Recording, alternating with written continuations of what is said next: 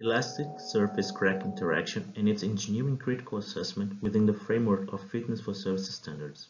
The main goal of this paper is to investigate the limits of using combined flaws on the failure assessment diagram methodology in comparison to the interaction phenomena problem within the linear elastic fracture mechanics framework.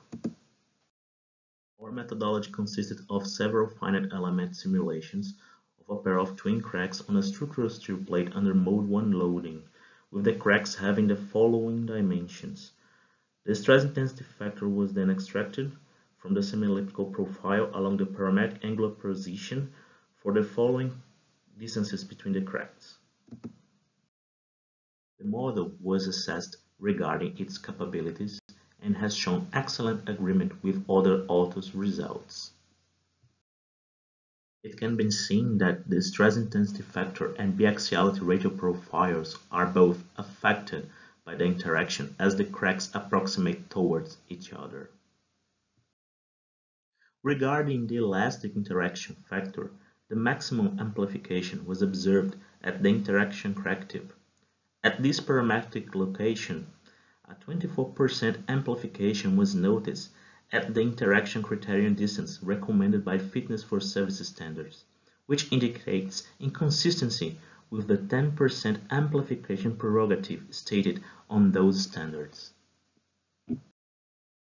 Considering the engineering critical assessment using the failure assessment diagram methodology, it can be seen that the combined flaw would not be safe for operation, while all the interacting cases would be, which indicates that there would be still some safe operational life for those when compared to the combined flaw. As conclusions, uh, the finite element models developed are representative of the stress intensity factor and T-stress profiles. Uh, the amplification phenomenon due to the interaction affects both the stress intensity factor and the biaxiality ratios magnitudes along all profiles. Uh, the interaction criteria according to BS 7910 and API 579 is higher than the 10% which was the basis for crack interaction to be considered meaningful on those standards and regarding the engineering critical assessment the combined flaws induce too much conservatism and the interacting cracks would have safe operational life before being repaired or discarded.